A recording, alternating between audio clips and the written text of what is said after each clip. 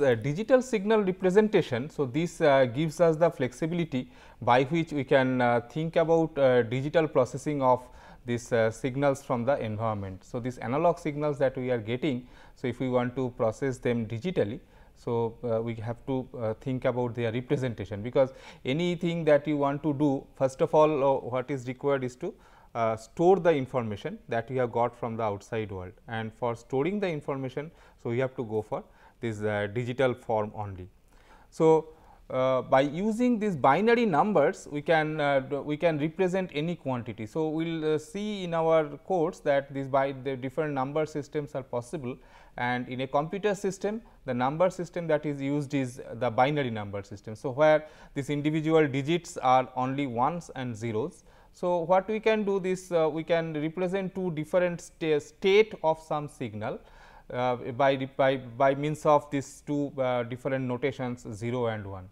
So, maybe if it is uh, some voltage value, so we can say that okay, this 0 is 0 volt and 1 is 1 volt like that or if it is uh, say 0 is uh, 0 volt, 1 is 5 volt or it may be 0 is minus 12 volt and 1 is plus 12 volt or the or the other way. So, 0 is minus 12 volt sorry 0 is plus 12 volt and 1 is minus 12 volt. So, like that we can have different type of conventions that we follow, but ultimately the information that we store. So, that is in some digital format. So, for example, you can have this binary 2. So, 2 is represented by 2 bits 1 0 that could represent a 2 volt signal. So, if we say that 1 binary 1 corresponds to a 1 volt signal. So, you can say that the uh, binary value 2 it corresponds to a 2 volt signal. So, we generally have to agree on some sort of code. So, what that is what I was talking talking about some time back. So, you can say that say minus 12 volt is 0 and plus 12 volt is 1 or somebody may say that the plus 12 volt is 0 and minus 12 volt is 1. So, both of them are possible. So, if you look into different uh, um, systems, you will see that all these types or different types of representations are possible. So, we must agree on some sort of coding that we have and the dynamic range of the signal that we want to represent. So, see whenever we are talking about uh, some uh, representation of a number. So, we are dedicating certain number of uh, bits in it or a certain number of digits for that purpose. So, using that many digits, so you cannot represent any arbitrarily high number. So, if I say that I, I have a number system, I have a space to write only say 3 uh, digits. So, I cannot uh, use it for representing the number 2556 in that system, because that requires 4 digits uh, 4 digit space, but we do we have only a single digits uh, 3 digit space. So, I cannot have 4 digits there. So, this way we can uh, think about uh, this uh, range. So, th this dynamically what the uh, what the, what the values that signal can pick up. So, we must know that and accordingly we have to decide the minimum number of bits that we will be using for storing that information. Possible digital representation of a pure sine wave um, of known frequency for that purpose we must uh, choose the maximum value. So, what is the maximum peak that we have and resolution or error that is at what level at what uh, difference of values you are going to take. Okay. So, we will say suppose we want 1 volt accuracy. Okay. So, suppose uh, that is the and the maximum amplitude is minus uh, is 50 volt maximum amplitude is 50 volts so, that is the signal goes from the signal goes from say minus 25 volt to plus 25 volt in the two ranges. So, if we say that the minus 25 volt I will represent as, as 0, then 20 minus 24 volt I, I will represent it as uh, 1, minus 23 volt I will represent it as 2. So, like that. So, if we think about uh, this type of uh, levels, then ultimately for this uh, minus 25 volt to plus 25 volt, this 50 volt range, I will have 50 different levels of the signal that we can get. So, if we think about 1 volt accuracy. So, as a result, so these 50 different values have to be represented and in a binary number system we will see that it will require 6 bits to store that information. So, if you are um, given less number of bits, so you will not be able to represent these 50 different levels. So, or so you have to suffer on the accuracy side. Okay. So, suppose instead of say 50 different levels, so um, I want to store, uh, I want to uh, have, I am given only say 5 bits. So, with 5 bits, so I can have 32 different levels possible only. So, accordingly my accuracy will be less for the signal. So, this way this digital signal representation itself it introduces uh, some amount of error. So, if we are go if we are looking for uh, uh, these exact values, if we are looking for exact values then we have to go for the analog signals definitely, but uh, as soon as we go for this digitization process some amount of error is introduced into the system. So, that is there, but we will see that there, there are different uh, types of errors that can crop up uh, in, into these analog systems and that makes the digital systems much better from that point. But as far as the initial quantization is concerned, so digital signals they, they have got some, some amount of error associated with it. So, how can we represent digital uh, logical functions in, in, in digital representation? So, digital signals they offer an effective way to execute logic. The formalism of performing logic with binary variable is called switching algebra or Boolean algebra. So, when we talk about algebra, so the term algebra means that there will be uh, some values that you can uh, that uh, that individual variables can pick up. So, that is there and I can do some operations on that uh, on on those values. So, there are certain there will be some axioms or uh, fixed uh, accepted norms for that particular system and then on that we can build up the total set of computations.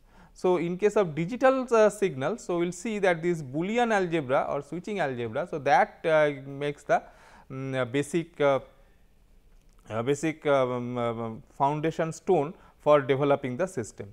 And you may be knowing that this Boolean algebra, so this was discovered long below these digital circuits uh, came into uh, existence and at that time it was pure mathematical interest, but once these uh, digital systems got introduced, then this uh, again this uh, Boolean algebra got its importance back.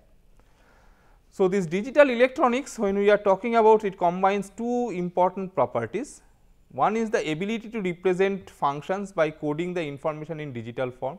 So, that is uh, one, um, uh, one uh, property and the other property is that it can control a system by a process of manipulation and evaluation of digital variables using switching algebra. So, you can do some computation, you can uh, find out uh, some you, you, can have a set of conditions for which certain signals are to be turned on. For example, uh, if you if, uh, in a plant control, so there are uh, maybe different conveyor belts moving, then items are being put onto conveyor belt and then uh, they, apart from that there may be some uh, fire safety system. So, if a smoke detector is sending signal. So, like that there may be a large number of uh, signals the inputs that you can get from the plant and accordingly you may have to do a set of other operations. So, in this process um, uh, they can be represented by means of some uh, logical equation or logical functions and those logical functions or those control functions they can be uh, implemented by means of this they can be represented by means of switching algebra and once you have represented them using switching algebra. So, you can implement them using digital circuits. So, digital signals. So, this is the uh, we next we go into why digital signals are preferable. So, digital signals can be transmitted, received, amplified and retransmitted with no degradation. So, why do I say so? Because if you are transmitting some digital value. So, you know that the ultimately what is transmitted is a bit 1 or 0. So, when you are transmitting a bit as 1 or 0 at the receiving station. So, if uh, if I say that uh, 1 in my system 1 is represented by plus 12 volt and 0 is represented by minus 12 volt. So, at the receiving station, so if you get some intermediary value say minus, uh, 5 volt so, you can say that minus 5 volt is close to minus 12. So, that is that can can be taken as 0. So, that way we can uh, we can say that even if uh, I have got some values degraded, but digitally the value is not degraded. So, digitally the we can still take it back to 0. So, these binary numbers, uh, so they are they are natural method for expressing this logic variable and complex logic functions can be easily expressed as binary functions. So, we will uh, as, as I was telling that in a plant there may be different inputs coming from different uh, regions and then uh, we can have the overall plant function specified in terms of these control operations that it is doing and that may be a set of logic functions and they are represented as binary function and from there we can get the, the function implemented in digital circuits. So, we can achieve arbitrary levels of dynamic range that is the ratio of the largest possible signal to the smallest one can be distinct that can be distinguished above the background noise.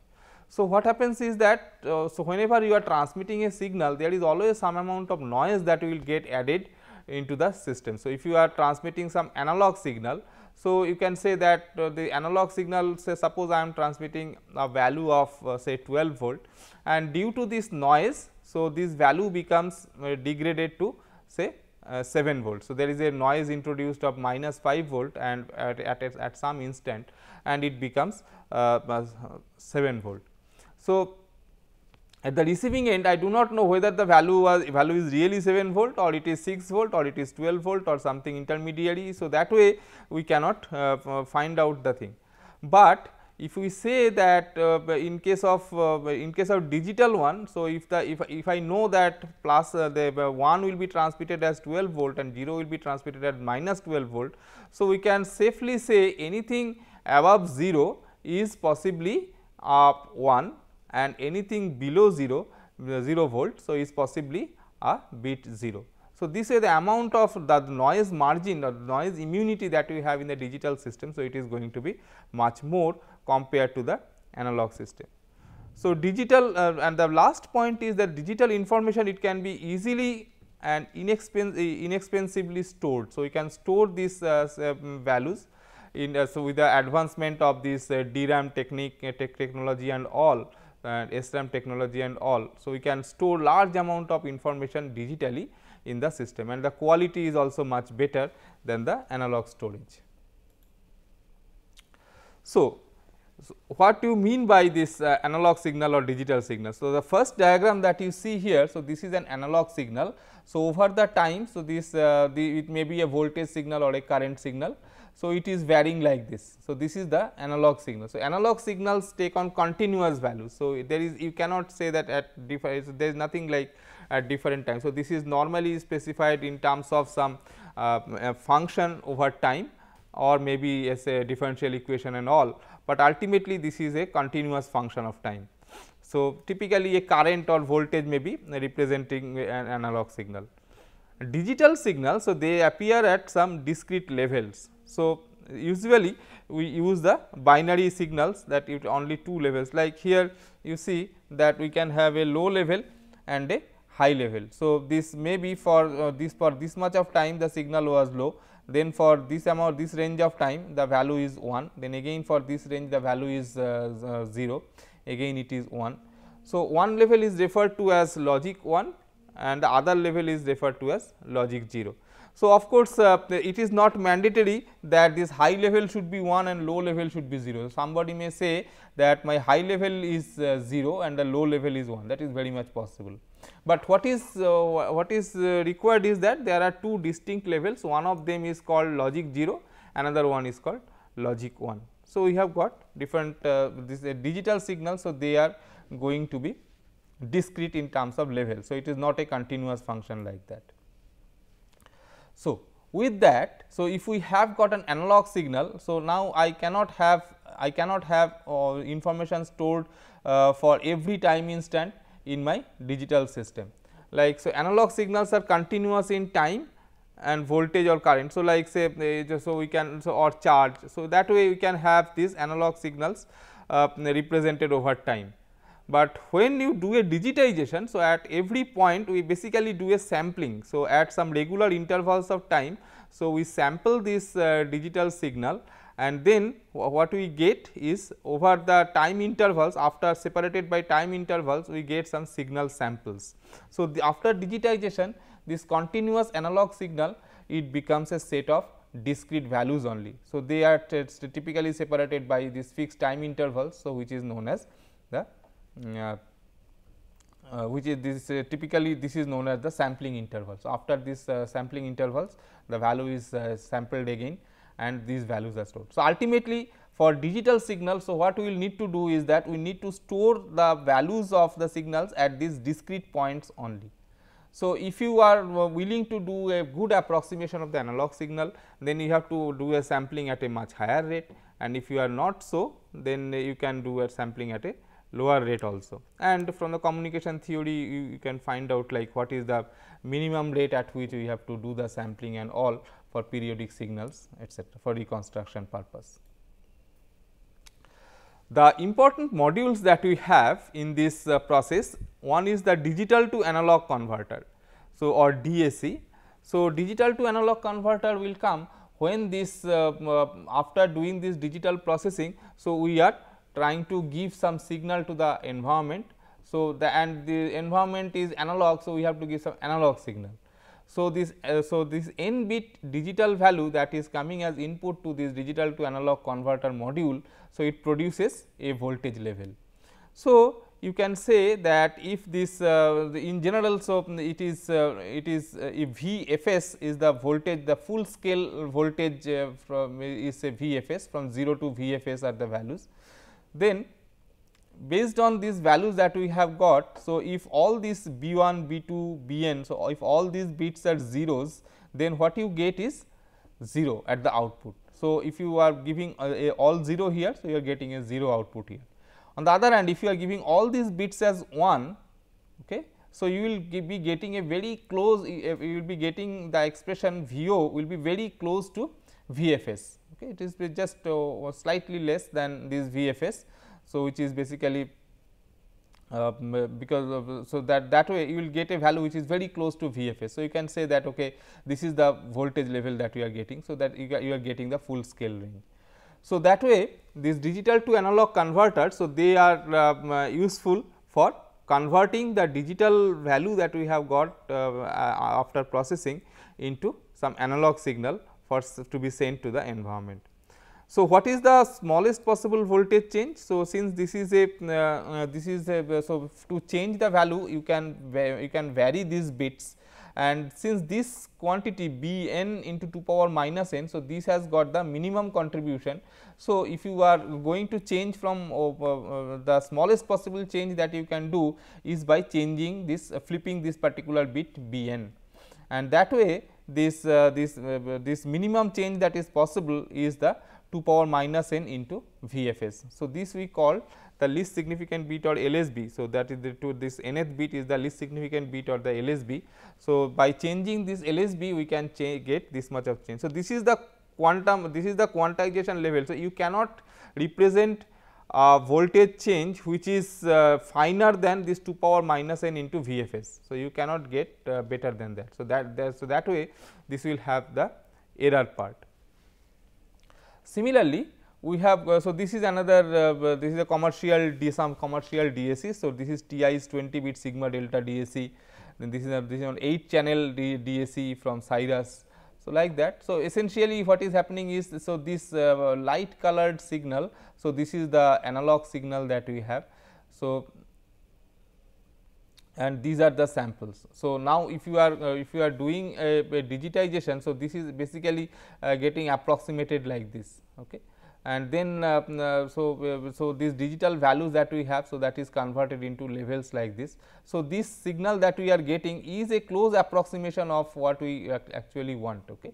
So, that way we say that these digital to analog converters are doing the conversion. The other component that the, the, the opposite of this is the analog to digital conversion.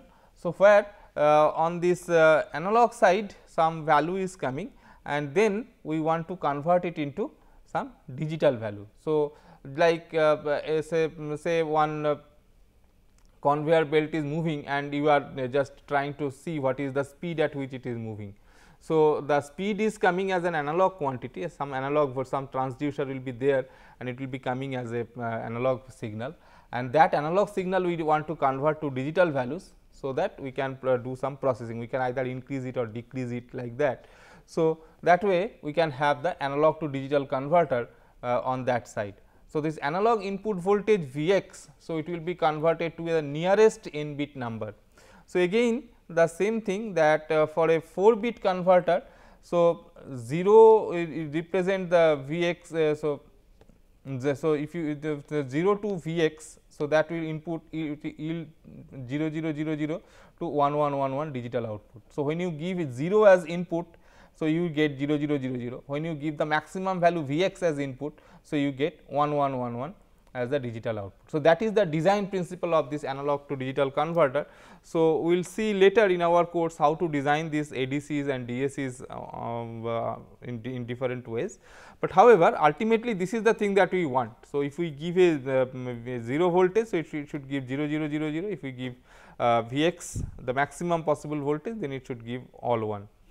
So, output is again approximated uh, approximation of the input data uh, to the uh, due to the limited resolution of this n bit output. So, error that we have. So, this is actually the V x that we want to represent, but what we actually get is this one. So, these bits that are coming. So, if all these bits are 1 then you will be getting a value which is very close to VFS, but this value is VFS. So, this VFS minus that approximation that gives the amount of error that you have in the process. So, this way we can have the analog to digital conversion. So, this uh, DAC and ADC they are two very important modules that you have in a digital system when it is interfaced with the analog domain. So, we will see that in due course of time. So, if you look into this analog and digital signal, so it is it seems that we are we live in an analog world. So, things uh, like like we make the statements like louder, quieter, hotter, colder, longer, shorter. So, this is a sliding scale. So, uh, maybe if I say that make it louder. So, you just increase you not turn the knob a bit and uh, maybe the maybe I am satisfied. I say okay, okay or I say okay no no reduce it a bit. So, make it quieter. So, like that. So, that is an analog signal. When we are recording some sound on a tape recorder. So, we are putting the analog signal onto the tape uh, the digital signals are not on a on a sliding scale. So, they are either on or off like uh, the light switches. So, the either the switch is on or the switch is off there is nothing like light is turned half on. Of course, if there may be intensity control of the light. So, that may be there may be some uh, on uh, some analog uh, some sliding scale may be there. So, if we just look into some of the signals and try to see whether it is analog or digital. So, this volume control on a radio. So, this is an analog signal traffic lights. So, they are either on or off. So, they are digital. So, this green, uh, red and yellow. So, either they are on or they are off. Motorbike throttle the amount of uh, fuel injected into the system. So, that is uh, going to be an analog signal because uh, with the place of the uh, as we turn this uh, accelerator. So, it puts in more and more fuel.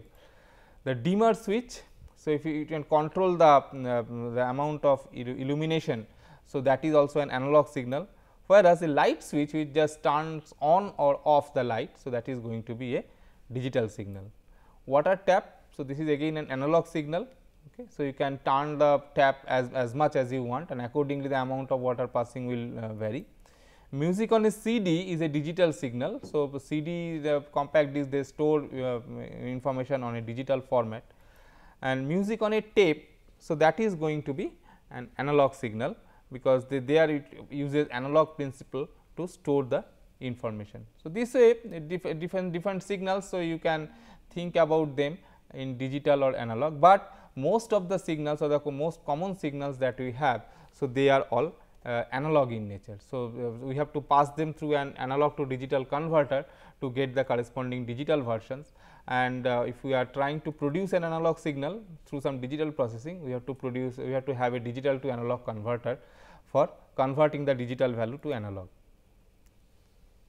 So, this is another typical example of analog and digital signal. So, a security floodlight. So, it switches on when you approach. So, it may be it has got an analog input. So, it senses the infrared uh, the amount of infrared that it sees from you and produces a digital output. So, floodlight is either turned on or off. So, when it is uh, doing that uh, sensing of this infrared component, so that is an analog signal, it is an analog input, but when it is uh, producing this uh, floodlight once it is turned or it is either turned on or turned off. So, that is going to be a digital signal. So, we can call it an analog to digital converter in that sense. Okay. So, so that is one way of the ADC that you can see. What is the problem with analog signal? It is the noise. Okay. So, the uh, lot of noise gets introduced like if you are uh, the for the sound there may be a hiss out, out uh, um, that get introduced or if it is an image or picture this uh, speculate dots may, may get introduced into the uh, picture due to these errors that or the uh, that got introduced from the noise. So, when we are sending a signal over a long distance the signal will get weaker okay, because of losses and we need to boost the signal otherwise you have transmitted as I was telling. So, you transmitted a 12 volt and over the um, length. So, it got uh, reduced maybe so much that you get a very low voltage there. So, that uh, so, so that way uh, you need to amplify in between. Okay. So, normally what we do is that we put some periodic amplifiers on the path and then the amplifier amplifies the uh, signals it boosts up the signal so that uh, at receiving end you get a reasonably uh, uh, correct signal.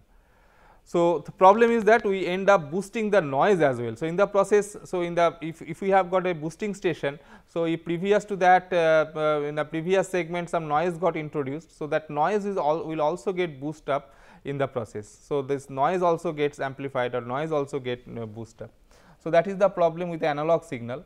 So, if we on the on the other hand the digital signal. So, if we convert the signal to digital form and then send it still gets weaker and noise will still noise still creeps in because that is the ultimately what we transmit is some analog uh, voltage values. So, that will be uh, that will make the signal uh, weaker and the noise will come. So, there is no doubt about it, but uh, it is like this if you read the text yourself the software in your brain can reconstruct the text because you know that uh, so because even the, the, the, letter shapes are supposed to be even uh, even though they are blurred. So, like if you do a photocopy of a page with a page which is uh, not very clear. Okay. So, if you do a photocopy, so after photocopy you will get a even worse page.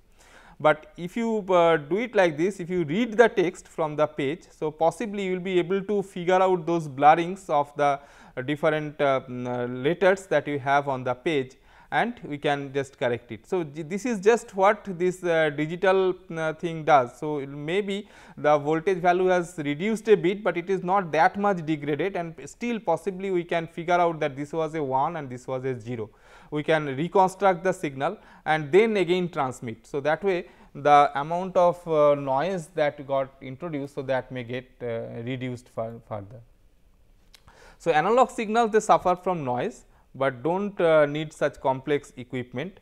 On the other hand, the digital signals uh, need fast clever electronics, but we can get rid of uh, any any such noise. So, this is the so that tells the summarizes the analog and digital signals.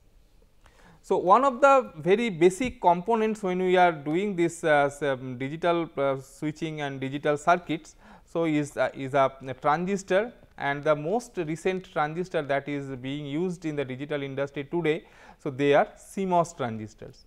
So, in CMOS transistors, so we will uh, discuss in detail later just to tell you how it works. So, this is a semiconductor block. Okay. So, so, so that is normally, so this is uh, on that semiconductor block we have got two dedicated region one is called a source another is called drain. So, they have got some type of impurity uh, diffuse they, they, are some amount some types of diffusions basically. So, if this uh, uh, uh, semiconductor block that we have, so if this is of say uh, p type semiconductor then on these uh, two regions, so we put some n type diffusions. So, one region is called source other region is called drain. So, the region in between, so it is covered by some silicon dioxide layer and on top of that we put a another uh, uh, layer of polysilicon gate. Okay. Now, normally what happens is that if you apply a voltage onto this gate okay positive voltage onto this gate so it will uh, it will attract the electrons from this uh, uh, from this substrate we call it a substrate so the, it will call it will attract these electrons into this into this uh, channel between the source and drain and now, if there is a potential difference between source and drain. So, if you apply a battery uh, between the source and drain then these electrons will move through this channel they will go from source to drain or drain to source depending on the polarity of those signals. So, you get a current flow through the through the, through the device. So, if you apply a positive voltage here, so it will attract electrons turning the channel between source and drain into a conductor. So, this region will behave as a conductor. So, that is why it is called a semiconductor. So, will be so if, if you turn for turning off the connect uh, conduction. So, you um, just make the gate uh, 0 and so this uh, this channel will go. So, there is no conduction and if you want this channel to be on so, you just apply a voltage here. So, this, this channel becomes on. So, pictorially it is represented like this. So, we have got source and drain at the two ends and there is a gate control. So, if you apply a logic high here high voltage here then the channel will come into existence as a result you can see that as if this transistor is now open. So, you, so transistor is now on. So, you can get a conduction from this side of the transistor to this side of the transistor through the channel. On the other hand, if you put a uh, logic 0 here or a low voltage here or, or, you withdraw the voltage that you had applied. So, this uh, this channel will no, uh, will not exist as a result this transistor will behave as if the transistor is open. So, this, this, this will behave like a open switch. So, in one case it is working as a closed switch when this uh, when this gate is high. So, this will act as a closed switch. So, you will get connection from here to here and another case you will getting an getting an open situation where there is no connection from gate to so drain to source. So, this way this transistor will behave in the form of a switch. So, we will come back to these transistors again later, but what I essentially mean is that these are the these small transistors. So, they, they are the um, um, they are the tool by which we, we represent these uh, uh, switches in the digital circuit. So, they will be used again and again for when in the uh, circuit design.